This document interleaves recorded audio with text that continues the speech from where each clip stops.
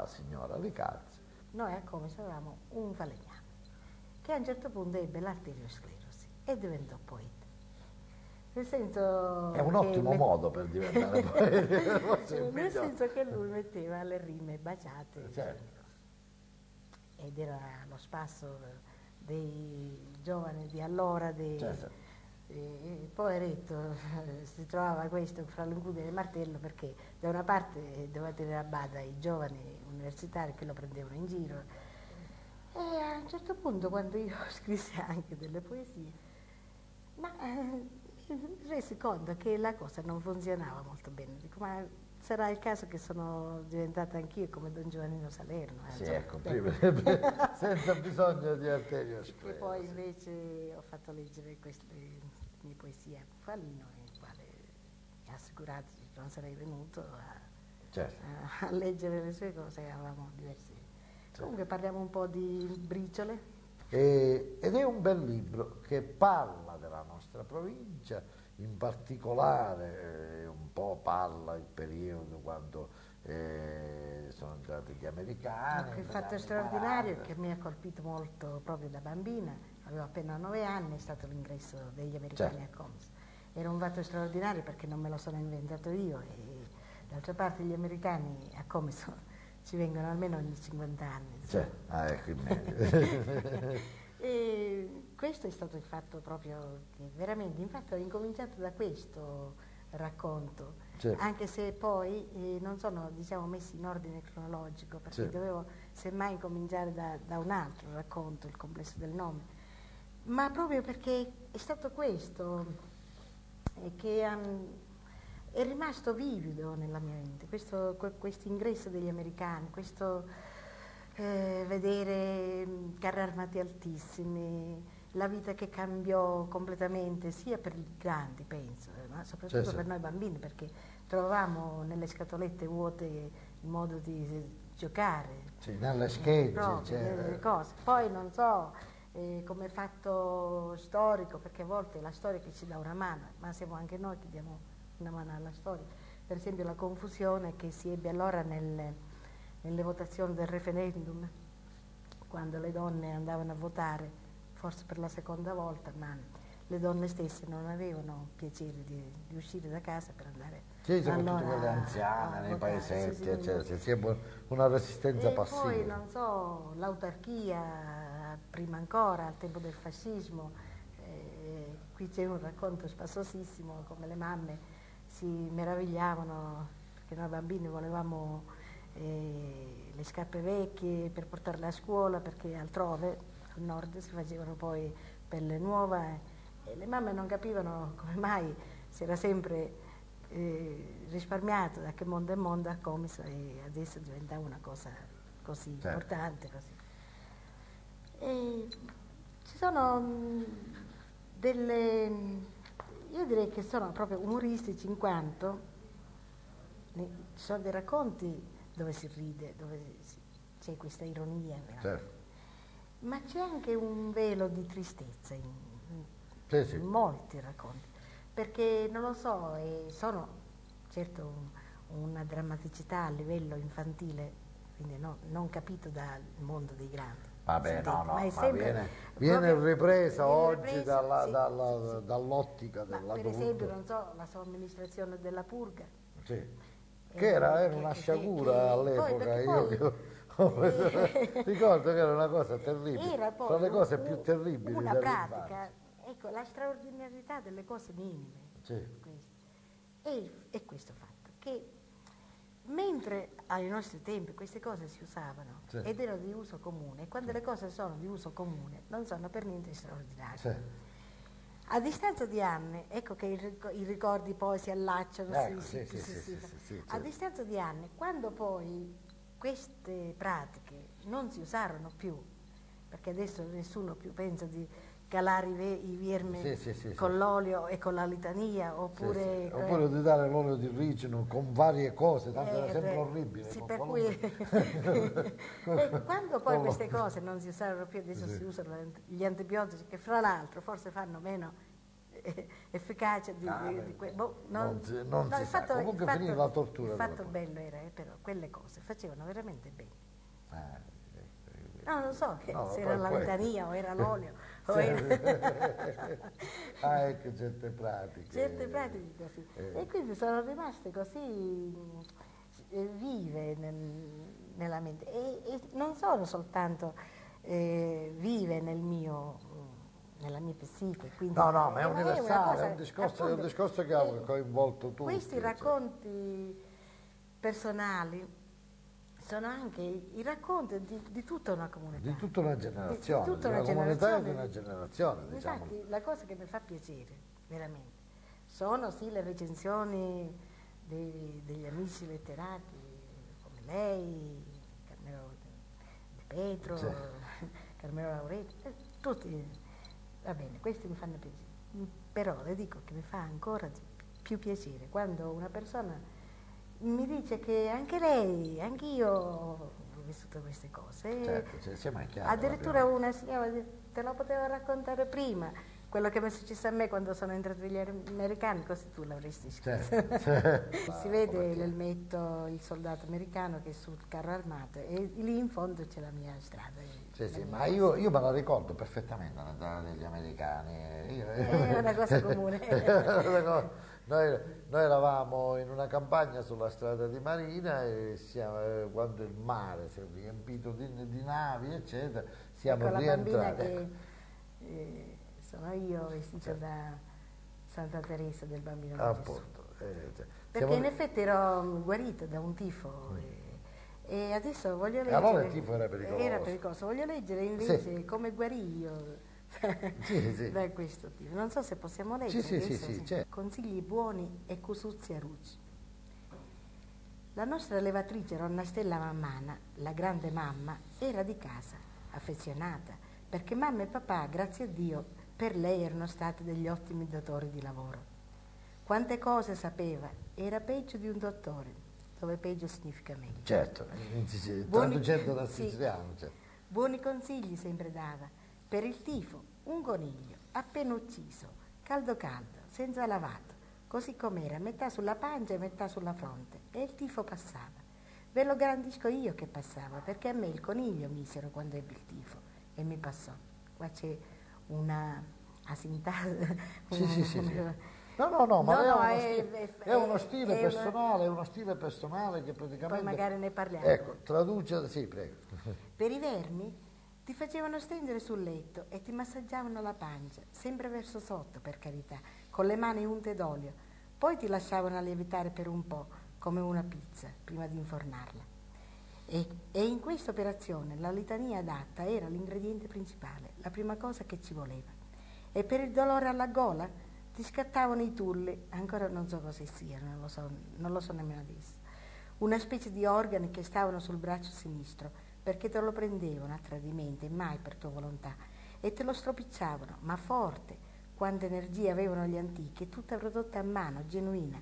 Te lo stropicciavano verso l'alto questa volta, con i pollici fatti d'olio, e se olio non ce n'era, buono pure lo sputo. Anche per questa scattatina di tulli c'era l'invocazione adatta. Tu ormai che c'eri dovevi solo inghiottire, ritmando col massaggio e ha voglia di dire basta più, basta più, ma che quelli smettevano solo quando i tulli davano segno di essere belle scattati. Tutti i consigli pratici dava Ronna Stella, che non costavano niente, e il bello era che i mali passavano davvero. La parte più difficile era la pratica di strofinare e di imparare a memoria le invocazioni ai vari santi, che benignamente si erano accaparrati la protezione delle varie parti anatomiche del genere umano. I conigli si allevavano in casa e quando qualcuno di essi scappava in mezzo alle frasche, tutta la famiglia ballava la mazurka per prenderlo. Ma più prezioso di ogni cosa era lo sputo, che a quel tempo si adoperava per tutto, per offesa, per difesa, per odio e chi lo sa, forse anche per l'amore, per, per comparatico col pane schietto, nell'agricoltura per tenere meglio la zappa fra le mani, nell'industria delle sigarette quando queste si impastavano a mano, arrotolandone nella cartina un po' di trinciato, in medicina. Insomma, avevo un largo uso. Malgrado tutto, io volevo bene a Ronna Stella, quando si capisce non avevo il dolore alla gola o quello alla pancia, perché quando andava a casa sua a portare un dolce e, o qualche altra cosa fatta dalla mamma in cambio dei consigli ricevuti, lei si avvicinava al cassetto più alto del canterano. Io facevo finta di andarmene, ma lei diceva aspetta e io sapevo che cosa doveva darmi, calia e fave caliate, che a Ronna Stella mai mancavano, perché a fazzolettate gliele davano i clienti quando battezzavano i bambini. Com'era buona la calia di Ronna Stella, Pochina me ne dava, tanto che non arrivavo a capire se aveva tanfo di cassetto o di naftalina. Non so, ma sapeva di festa, anche quando festa non era. Dicevano che Ronestella fosse tirchia, ma a me mi accordava sempre. Questo sì. racconto è scritto in uno stile paesano. Certo. Cioè, se io lo volessi leggere traducendo simultaneamente in siciliano, lo potrei. Infatti, ci sono per esempio le dita fatte di olio, sì, sì. Eh, oppure la scattatina di tulle, la cate... Ma fino all'ultimo accordava sempre. Mi accordava sempre. e accordare che non è...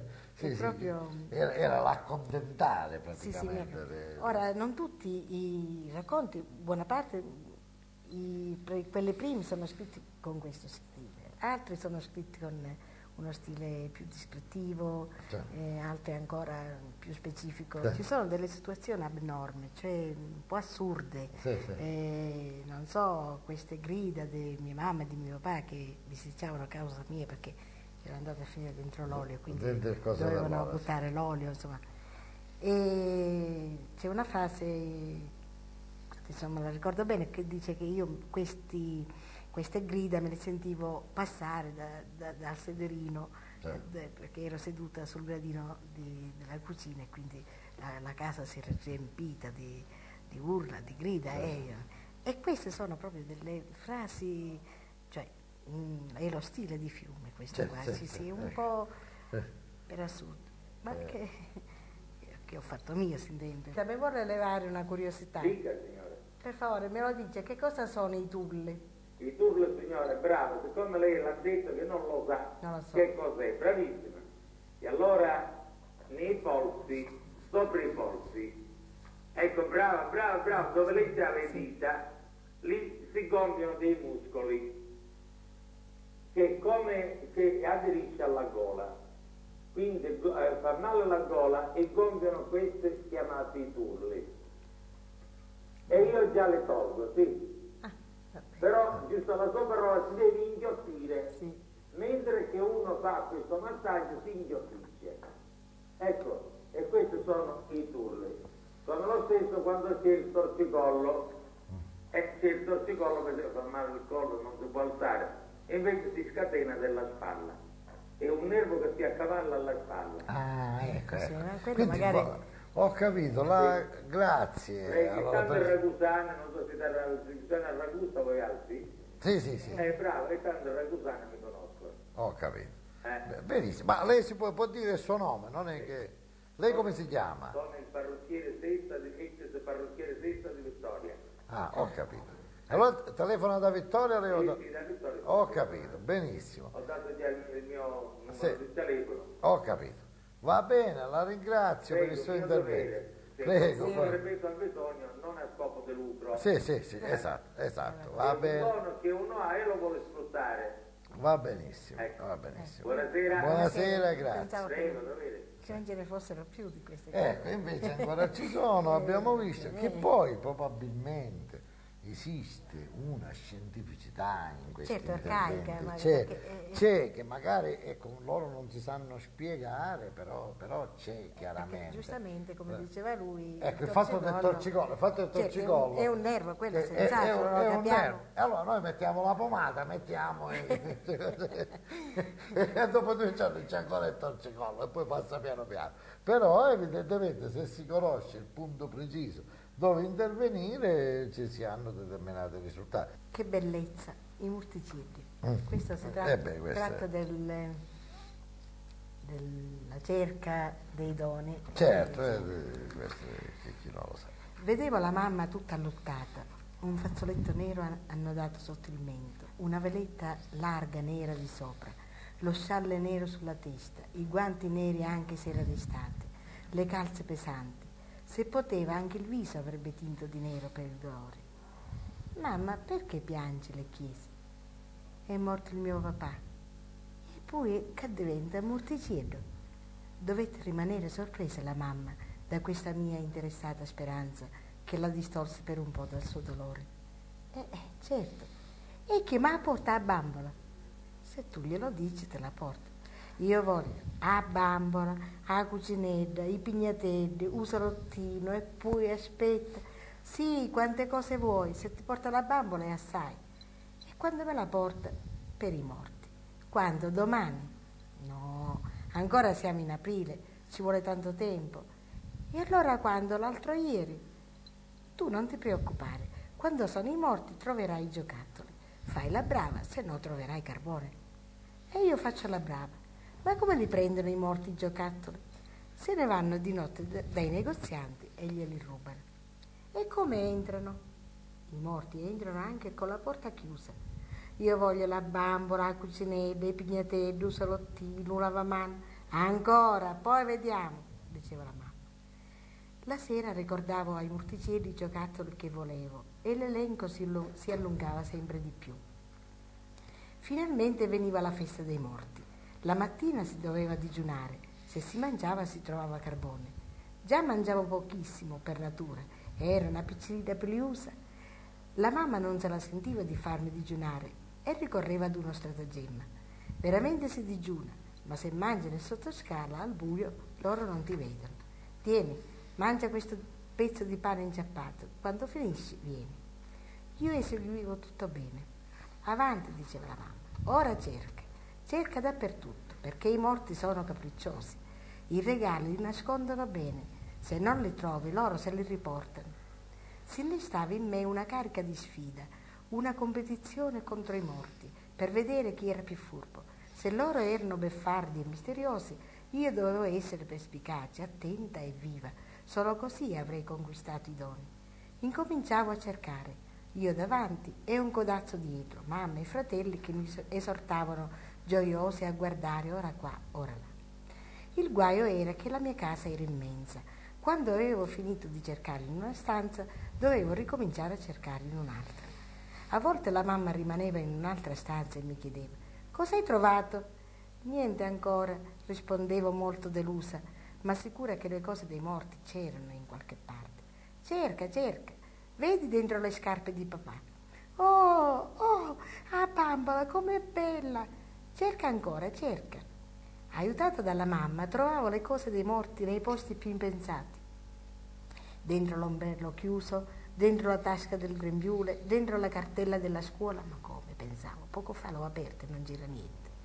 Trovavo là due forme di mostata, qua una forma di marmellata, la frutta martorana, una maglia nuova, un paio di scarpe nuove, due quaderni, un pezzo di carbone che serviva in mezzo a tutta quella gioia a darmi un senso di colpa e poi trovavo calze precise della mia misura.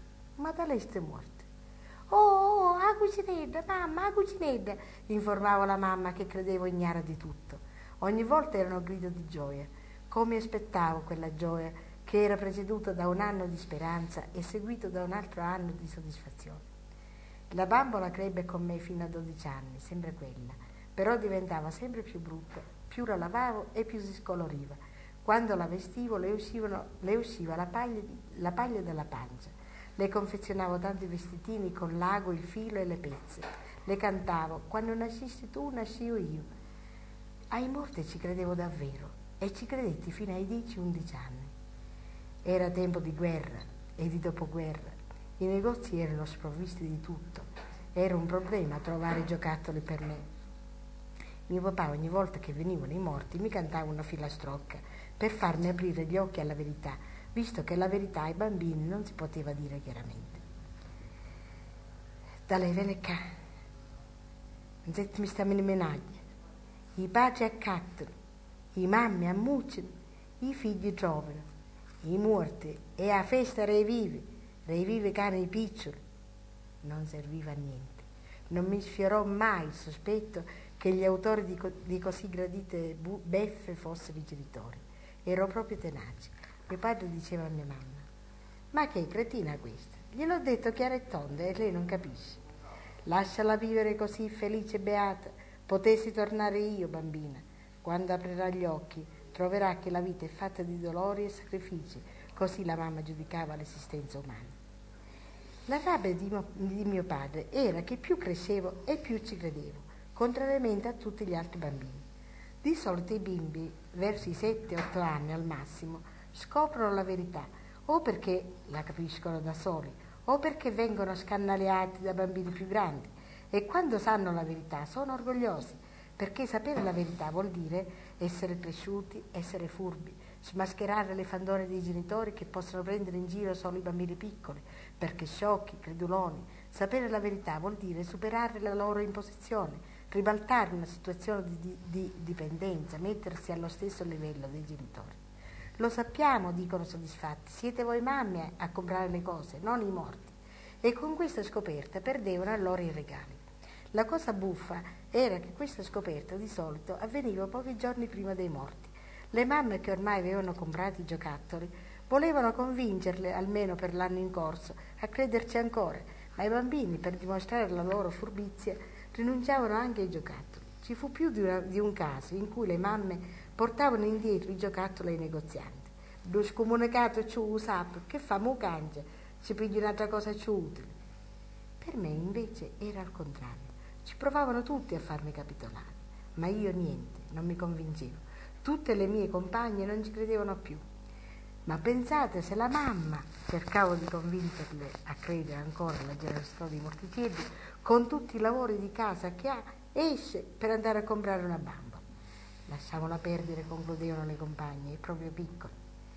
Ma una volta, e fu anche l'ultima che trovai le cose dei morti, successe quasi un dramma. Mentre cercavo da sola nelle stanze del piano superiore, sentii squillare una trombetta. Mamma mia, i morti ci sono, provai a gridare, ma la voce non usciva. Corsi giù dalla mamma con le gambe tremanti. Ero pallida, fredda, spaventatissima. Avrei potuto vedere i morti. Fino ad allora dei morti mi interessavano solo i regali, anche perché loro operavano di notte quando io dormivo. Ora invece erano presenti, altissimi, luminosi e intangibili fantasmi. Provai all'improvviso una sensazione di macabro e di orrore. La mamma si preoccupò vedendomi bianca come un cencio, col cuore che mi batteva forte forte, col pericolo che mi venisse un attacco di vermina di cui soffrivo. Mi prese sulle gambe, mi confortò cercando di calmarmi. Basta, disse, questa storia si deve finire. Ascolta, non sono i morti a far trovare le cose, siamo le mamme. A suonare la trombetta è stata la svergognata di tua sorella che l'ha voluta suonare per forza. Svanì così l'incantesimo della favola bella, lunga quando tutta l'infanzia. Da lì a Venicà ci sono i soldati americani, mi gridava mia sorella dal balcone che dava sul corso, e intanto si avvicinava verso la cucina dove ero io. Che c'è? dicevo attraversando le stanze per arrivare al balcone. I soldati americani.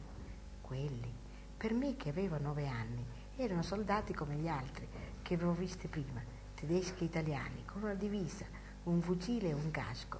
In più questi erano stanchi, sudati e pieni di polvere. Sotto il sole caldo di luglio camminavano in due file sotto i marciapiedi del corso. Nel mezzo facevano il loro ingresso trionfale grossi e alti carri armati. Questi sì sono carri armati, non i nostri piccoli fatti di latta. La potevamo vincere la guerra. Così le persone si parlavano con gli occhi timidi e paurosi. Piano piano, con indifferenza, scendevano dalle strade trasversali verso i marciapiedi, come se si trovassero per caso a, a camminare. Quelle che abitavano lungo il corso si affacciarono ai balconi con un po' di timidezza prima, ma con più sicurezza di quelle che stavano lungo i marciapiedi. Una mamma disse, che sai, mio figlio, nessuno, senza mamuzza come chiste, che mi parano più sconsolati di tutte altre. Ed entrando in casa, prese dal cassetto un lenzuolo bianco e lo stese al balcone per dire ai nemici che noi non facevamo loro del male. Qualcuno batté le mani, dopo un po' tutti battevano le mani e le donne stendevano lenzuola bianca ai balconi del corso. Nel tratto dove ancora gli americani dovevano passare si preparavano già ad una festa, lenzuola bianche ed applausi. Una festa strana però, fatta di paura repressa, l'incertezza del momento e per, il, e per il timore di un prossimo futuro. Se fossero tor- tornati indietro i tedeschi, Gli ultimi sarebbero stati i primi, i primi esposti. Comunque, per ora i tedeschi non c'erano e gli americani non facevano paura. Le armi non le puntavano nei petti, ma con gli occhi scrutavano dentro le strade trasversali, dentro i nostri occhi, dentro le nostre anime. Non, sapevano, non sapevamo cosa volessero e quella loro calma, la loro lenta marcia, la loro stanchezza si poteva risolvere dalla grazia e l'annunziata in vendetta da vincitori. I commissani ci tenevano a non far vedere la loro paura ed applaudivano non tanto agli americani e a tutto ciò che stava avvenendo, ma a loro stessi, alla loro paura che stavano trasformando in feste. Tacitamente si erano messi tutti d'accordo con lo sguardo che al primo colpo si sarebbero allontanati e avrebbero chiuso i loro balconi, ma erano certi che quel primo colpo non sarebbe partito se la festa fosse stata sicura e senza esitazioni. Stavamo affacciati con gli occhi ansiosi e i muscoli pronti a far rintanare i corpi non certo serenamente appoggiate alla ringhiera come quando si vede passare il santo patrono. Anche loro però, nello sguardo sorridente, ostentavano paura. Forse si credevano in trappola e sotto quegli applausi procedevano cauti, guardinchi. Dalla fila un soldato chiese ad un uomo che si sentì il più superbo della terra se c'erano tedeschi e quello col, col dito disse di no. Gli altri uomini ora, guardando con interesse l'interlocutore degli ora guardavano con interesse l'interlocutore degli americani. Vicino a casa mia dei soldati stanchi, sfiniti sotto quel sole caldo di luglio, si sedettero sui marciapiedi. Un commissano, più coraggioso degli altri commissani, ma molto timido nei confronti degli americani, si avvicinò ad essi con una bottiglia di vino ed un bicchiere.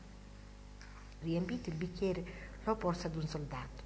Questi, pur vedendo l'offerta, non beve subito, ma ordinò all'uomo di bere per primo. Solo allora il soldato beve lo stesso vino dallo stesso bicchiere. Bevvero tutti i soldati che erano lì. I curiosi si avvicinavano, un po' guardinchi. Il bicchiere che l'uomo riempiva passava da bocca in bocca e l'orrore dei microbi per cui a casa loro non bevevano dal bicchiere della mamma o della moglie era meno forte della loro paura e della loro stanchezza, almeno per quel giorno in Sicilia quel primo giorno di marcia dopo lo sbarco, quando ancora la loro sorte era incerta. La nostra paura e la, loro, paura ci fecero sentire fratelli. Ora davano agli uomini sigarette e ai bambini caramelle. Quando ci rassererammo che i nostri reciproci doni erano sinceri e non facevano del male, gli applausi della paura cessarono e nei cuori e nell'aria si stabilì una festa di sollievo e di ringraziamento a Dio e al patrono San Biagio perché l'avevamo scampata. Quel giorno, l'11 luglio 1943, seconda domenica, era destinata ad essere festa perché si sarebbero dovuti svolgere i festeggiamenti in onore di, di San Biagio e invece entrarono gli americani. La festa di San Biagio quell'anno non si fece. Il giorno stesso dell'occupazione un soldato americano, distaccatosi dal gruppo e con un, una carta topografica in mano, si diresse verso la parte alta del paese Sicuro andò a bussare dritto dritto alla porta di una, di una casa. La gente spiava da dietro le porte ed aveva paura. Ma più di tutti ebbe paura la vecchietta che abitava in quella casa, la quale si vide a tu per tu col nemico. Questi la, chiamò. Nanna, sogno figlio, tua figlia, Vannina, yes.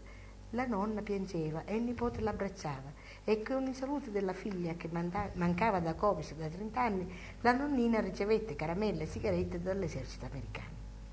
Gli americani, ma gli americani tutti figli di italiani sono, quasi tutti figli di immigrati siciliani, ma sì, io ho tanti parenti a New York, a Patterson, gli americani sono cosa nostra, gli inglesi magari no, ma gli americani sono come i bambini, subito si entusiasmano.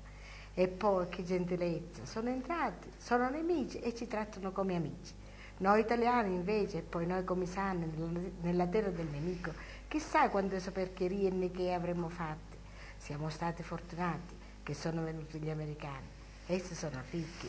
Ora sì che possiamo mangiare pane bianco e comprare le cose senza tessera. E, e poi l'altra fortuna, che se ne andarono i tedeschi proprio il giorno di San Biagio. San Biagio si è aiutato. Così andavano commentando le persone rasserenandosi e pensando che quasi tutti gli americani erano figli di immigrati siciliani, loro mezzi parenti si sentivano più sicuri, quasi vincitori anche loro. Alcuni tanto si sentivano sicuri con la forza delle loro spalle scardinarono la porta di un magazzino tedesco strapieno di indumenti, di oggetti vari, e si dettero a portare via tutto quel ben di Dio che i tedeschi avevano abbandonato, che non era di nessuno, che agli americani non serviva di certo perché erano ricchi e che perciò apparteneva ad essi, che ne avevano di bisogno. Anche altri si sentivano il diritto di averne bisogno e successe una tal baronda di risse e di voci che gli americani, che non erano ancora arrivati all'annunziata, ritornarono indietro, pensando di stroncare una scaramuccia diretta personalmente alle loro spalle. Quando capirono di che cosa si trattava, si rassicurarono anche loro e cercarono di mettere un po' di ordine. Ma malgrado la loro vigilanza, la gente, che per un po' si chetava e per un po' si rompeva con più forza, riusciva a portare via molte cose. Questi assalti durarono per più di otto giorni, per quando alcuni americani si fossero stanziati nello stesso magazzino. Quando lo ebbero svaligiato bello e buono, le persone si chetarono veramente e con gli americani ebbero rapporti più amichevoli. Le buone sigarette americane spandevano nell'aria il loro profumo di tabacco genuino e caratteristico. I mocciosi leccavano caramelle con il buco a non finire. Dopo qualche giorno un soldato amico di mio fratello, conoscendomi, mi prese in braccio perché rassomigliavo tanto alla sua sorellina. Si disse subito che di Mussolini e di cose fasciste non si doveva parlare, per non fare dispiacere i nostri ospiti, che buoni e cari lo erano, ma non sapevamo fino a quanto. E noi abbandonammo Mussolini e il fascismo tre mesi prima dell'8 settembre. Nessuno ce l'aveva proclamato, ognuno lo capì da sé. I prezzi cominciarono a salire e, tu- e, i nostri soldi non valevano più niente. Circolavano certe carte, monete speciali scritte in americano e, e incominciò l'intrallazzo. I comisani, di natura affaristi e laboriosi, ora che ogni, che ogni tipo di lavoro era fermo, videro in esso non solo un mezzo di lavoro alquanto redditizio, ma una specie di vocazione. Tutti diventarono intrallazzisti. C'era pure un tipo di intrallazzo organizzato dalle donne che avevano i mariti in guerra. La loro casa diventava una vetrina dello scambio. In mancanza di cibo e di indumenti necessari tutto il resto diventava superfluo. Un letto di ferro, una rete, un mobile si cedevano in cambio di un indumento o di qualche scatoletta di carne americana. Il valore materiale del baratto non era reale, ma contingente per quel tempo. Ad esempio un paio di scarpe usate avevano più valore di un comò originale dell'Ottocento. Una coperta con cui confezionarsi un cappotto aveva un valore inestinguibile, inestimabile. Non so quale utile avesse la donna che organizzava tutto questo, ma certo è che essa riusciva a mandare avanti la famiglia. In questi strani negozi gli americani venivano a comprare i souvenir comisani che pagavano molto bene. Erano dei fazzoletti ricavati dalla seta dei loro stessi paracaduti e in un angolo vi era ricavata la Sicilia e qualche scritto americano. Questo era il lavoro cui si dedicavano le donne comisane in quella festa, dove tutti si impegnavano a, a vendere qualcosa agli americani, persino la seta dei loro stessi paracaduti, che essi non riconoscevano più. In quei negozi si potevano avere in cambio pezzi di seta di paracaduti americani e filo di seta di paracaduti, resistentissimo che uguale non se n'era visto nemmeno prima dell'autarchia. Era di nylon. Con questi tessuti si confezionavano sottovesti, mutandine, camicette per donne e anche vestiti per uomo. Erano fantastici per quei tempi, ma nessuno ci badava. Era fortunato che l'aveva un vestito, anche di seta di paracaduti. I negozi di tessuti erano chiusi da tempo. C'erano aperti solo i negozi di scarpe, non per vendere scarpe, ma zoccoli di legno. Questi venivano confezionati anche in casa, inchiodando i pezzi di pelle di vecchie borsette o strisce di stoffa lavorate a mano. Tutti andavano in giro con questi zoccoli anche d'inverno, senza calze, e tutti sembravano turisti in vacanza in zona balneare. Vennero gli americani e molte volte il pane ce lo diedero bianco, ma bianco che sembrava peccato mangiarlo. Per noi finalmente la guerra era finita. Adesso le mamme e le spose aspettavano i loro uomini dal fronte. Ma il tempo passava e quelli non venivano. Me, nemmeno notizie venivano. Il postino non passava neppure e le mamme aspettavano, aspettavano, mesi e mesi, anni, quante figliole lontane, ma dov'erano? Erano vivi o erano morti? Le donnette non si sapevano spiegare come da noi c'era la pace e i figlioli erano in guerra. Gli uomini che erano a Comiso erano in festa e i giovani in guerra forse morti. Ma intanto da noi la guerra non c'era e si cercava di fare baccano più che mai, un po' per ricreare lo spirito depresso dopo una guerra e un po' perché da quel baccano si traevano buoni guadagni. Gli americani volevano divertirsi e i commissani furbi organizzavano per loro feste da ballo, non nelle loro case però, ma in locali presi in affitto dove non portavano né le loro mogli né le loro sorelle. Solo gli uomini ballavano con gli americani per poter cambiare con essi frittelle, vino, arance con scatolette e cioccolato.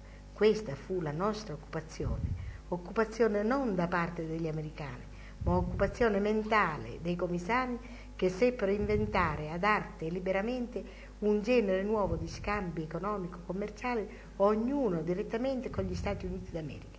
E tutto avveniva in un clima di frenesia, temendo che la festa finisse troppo presto.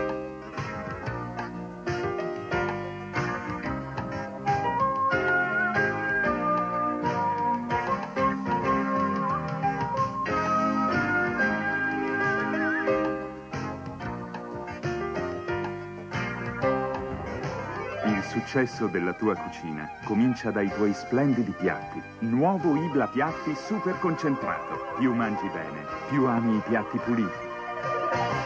Li ricordo anch'io, gli americani, non è che eh, a, a, parte la storia dei paracaduti, grosso modo, poi si, un po' dovunque si Beh, sposta certo. così, poi la perplessità, la paura, i balconi, io ricordo che ero in balcone con i miei, che eravamo timorosi, con la mamma dice no sta dentro perché temevano che si mettessero a sparare e così via, perché poi a Ragusa successe che qualcuno di loro, evidentemente per sbaglio, tirò qualche colpo di fucile in aria, per, e gli altri temevano che fossero i tedeschi e quindi entrarono guardinghi puntando i fucili eccetera, ma poi certo, si, resero, dei momenti si resero conto che non c'era motivo cioè, comunque ecco quello che conta è questa, eh, questo affresco di, di, una, di, una, realtà di un, eh, e io vorrei leggere io ora qualcosa. Dolce cuore del mio Gesù forchettiamo sempre più. Veramente la maestra dicevano facchettiamo tutto così facchettiamo ma siccome io né loro conoscevamo la costruzione sintattica,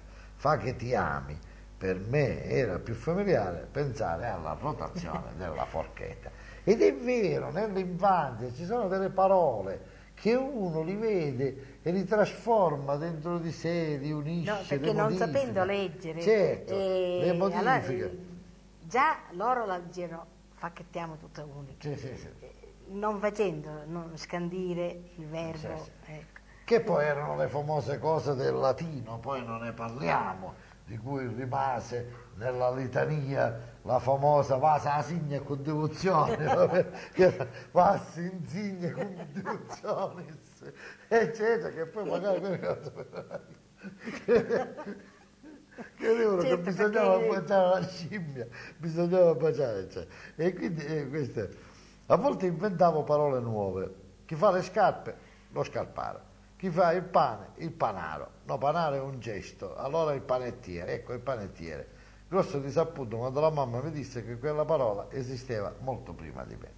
Oh, che curiosità mi metteva addosso quel manovale che con un bastone girava in un busto una massa bianca. E ricotta, mi diceva. Me ne dai un po', chiedevo. Non è ancora pronta. Quando sarà pronta te la darò. I lavori dei muratori a casa duravano ormai da alcuni giorni, ma la ricotta non era mai pronta. Quando il manovale si allontanò, affondai la mano nella ricotta e la mangiai. Era calce, mi portarono dal dottore. Cantavo faccetta nera ad un anno, così dicono. Io mi ricordo molto vagamente le innumerevoli richieste e le altrettanto innumerevoli esibizioni. Io ero uno specialista e è arrivato l'ambasciatore. Lo ricordo molto vagamente, ma, ma, ma lo ricordo che era che era di moda a quell'epoca, e poi vincere che la cantavamo tutti naturalmente, i bambini. Nel 1937 i commissari affollavano la piazza per osannare Mussolini graziosamente in visita sin qui. Ma che fascino intanto sprigionavano per me le travi di, ferro del pavimento del palazzo del Banco di Sicilia in costruzione. Grosso disappunto di mio padre che mi voleva invece vicino a lui al balcone affinché ricordassi un giorno cotanto volto. Oh, prima classe elementare primo anno di guerra. I tedeschi occupavano le scuole elementari e noi bambini avevamo le aule presso case private. Il sabato che era fascista, l'orario scolastico era ridotto e i due turni si alternavano solo di mattina. Un sabato né io né la mamma ci ricordammo che era sabato e che dovevo andare a scuola alle 10 e che dovevo indossare la divisa di figlia della lupa. Alle 13.30, come al solito, bussai e ribussai alla porta che trovai chiusa. Si affacciò dal balcone il padrone di casa, infastidito, e mi rimproverò duramente. Non ti ricordi che oggi è sabato fascista? Mi mise a piangere, avevo perduto un giorno di scuola, una punizione che non meritavo. Io ero molto attenta Beh, a scuola, ci andavo volentieri. Ecco, lei ci andava volentieri. A me mi ci hanno trascinato fin dall'asilo, ho, ho protestato aspramente e direi che negli anni non è che ho cambiato molto. No, no, io invece anche come maestra ci andavo Ah, volentieri. ecco. Dicembre 1944. Fui distratta mentre studiavo nella mia cameretta da uno strano vocio di folla in tumulto sempre più distinto.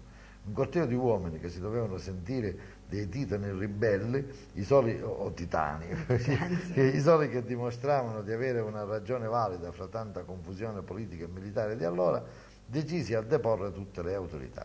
Erano in onze parte sventolavano la cartellina rosa del richiamo alle armi, non volevano più continuare la guerra. Per otto giorni furono gli eroi della Repubblica di Comiso, poi languirono nelle prigioni di Ustica e di Priolo per quasi due anni, fino all'amnistia del 2 giugno 1946. Circa un mese fa noi abbiamo fatto qui una trasmissione con Pippo Gurrieri, un Sì, giovane ecco, che è autore di una, di una storia a fumetti, no, di una storia a Ah. fumetti sul Non si parte, dove eh, si ispira in parte alla Una donna di Ragusa di Maria Occhipinti, ma parla anche della Repubblica di Comiso, cose qua. che poi abbiamo avuto una telefonata dalla stessa Occhipinti che abita a Roma e che era stata avvertita, sì. eh, eccetera, che ci telefonò. Su come so viva c'è tutto un... La mamma raccontava che le sue due nonne erano molto diverse fra loro. Una non molto ricca ma generosa, l'altra molto ricca ma amara. Ma avara, no amara, ma avara. La prima di sue spontanee volontà prendeva una bella forma di pane, se l'avvicinava al cuore e col coltello tagliava una grande e grossa fetta di pane e gliela dava. La seconda, quella più avara, se la bimba chiedeva del pane, faceva finta di non sentire o glielo prometteva finito il lavoro che aveva nelle mani, ma i lavori se li cercava tutti lei, dimenticandosi delle promesse. E- ma quando proprio non ne poteva fare a meno, dietro le calde insistenze, regalava alla nipotina una fetta di pane sottilissima e trasparente. La bambina, mettendosela davanti agli occhi, si divertiva a guardare. Oh nonna, vedo la casa di fronte, vedo il cielo, vedo la pergola. Che mastra la nonna Mara. E ecco, questi fanno parte dei, dei ricordi. sì. Posso leggere questo? Della panificazione che si faceva a casa. E ecco, questo qua è un altro. ecco, Seduta come su un trono in testa alla brivola, la mamma con le sue mani portava un pastone sotto brione che i miei due fratelli con molta energia alzavano e abbassavano sulla pasta. Si formava così un ritmo di suoni e di movimenti cadenzati fra i tre, che non dovevano dis- distrarsi minimamente, pena l'ammaccatura delle mani della mamma o lo sbilanciamento della brivola. Per tenere il ritmo, ma soprattutto per ringraziarsi l'occhio di Dio, la mamma recitava delle preghiere in dialetto specifiche per la panificazione, con una metrica assonante con tali movimenti. A me cercavano di tenermi lontana per non essere distolti dall'attenzione che l'operazione richiedeva. Ogni tanto io irrompevo in cucina, mandando all'aria ritmo, lavoro e preghiere. Mamma, mi dai un po' di pasta? No, la grazia di Dio, tu la sprechi. Solo un po', mi metto lontana, do scaneatura e mi faccio la acuderina. E va bene, tieni, non la sporcare, è la grazia di Dio. Poi te la inforno. E mi accontentava anche per riprendere subito il lavoro. La pupilla che facevo era piccola, poiché poca era la pasta. Era bianca da morta, secca secca, minuscola, molle molle, una cosa da buttare se non fosse stata grazia di Dio. La mamma infornava il pane ad uno ad uno. Io le stavo dietro impaziente per farmi infornare la pupilla che tenevo in mano. Mi rimproverava perché lì era tutto un pericolo. La brace calda che poteva straripare dalla tannura, la pala col manico lungo lungo che mi poteva colpire, poiché la mamma guardava dentro il forno a scuparo furno bruciacchiata e affumicata, un luce caldo. All'ultimo infornava la mia cuderetta. Signore, facite tutte cose voi, io non hai fatto niente. Era l'ultima invocazione a Dio quando la mamma, che si era alzata alle 5 e aveva lavorato per tre ore, metteva la valata di ferro alla bocca del forno, facendo un largo segno di croce. Un secolo ci voleva per togliere la valata e rivedere la pupilla. Finalmente la mamma sciurnava tutti i pani e la mia cucina calda calda che non si poteva toccare come era diversa.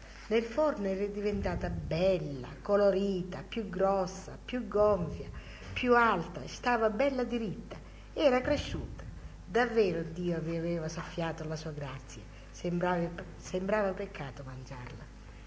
E lei può considerarsi fra i migliori scrittori della non- provincia di Ragusa. non No, lo dico pubblicamente, lo sto dicendo pubblicamente. Non penso che No, sia no, così è chiusa la telecamera, sì, sì, Ah, è chiusa. No, no, no, non è no, non non è chiusa la telecamera. Ah, dico, io lo sto dicendo pubblicamente questo, sì. Ma io lo dico non per farsi, ma proprio io non, non credo a questo. Eh, sono, sono venute fuori. Così, non lo so, c'era un folletto. Certo, Eh, perché io quando scrivevo queste cose, fra l'altro, non avevo nemmeno tempo, perché come giustamente ha detto lei, essendo donna avevo tante altre cose. Facevo la maestra, facevo la donna di casa, tutti i mestieri di famiglia e quindi... E quando però sentivo il bisogno di, di- di esternare, adesso questa parola è diventata Cioè, sì, di, di moda, sì. di moda, nel senso buono. E mi alzavo anche la notte a scrivere queste cose. E le dirò che certe cose facevano ridere anche me quando le scrivevo. Adesso io non so nel tempo a venire che cosa succederà. Aspettiamo che il folletto si svegli. Ecco, cioè, lei non No, ha no, scritto... ecco, io sono una di quelle che non scrivo forza di professione e nemmeno mm, scrivo perché mm, così, perché adesso che ho scritto devo scrivere per forza. Non, non so, non so se viene l'argomento, se viene la voglia, se viene anche lo stimolo stilistico, perché è, certo. è, è, è lì che bisogna... Certo, certo, bisogna adattare contenuto e forma. Certo. E forma.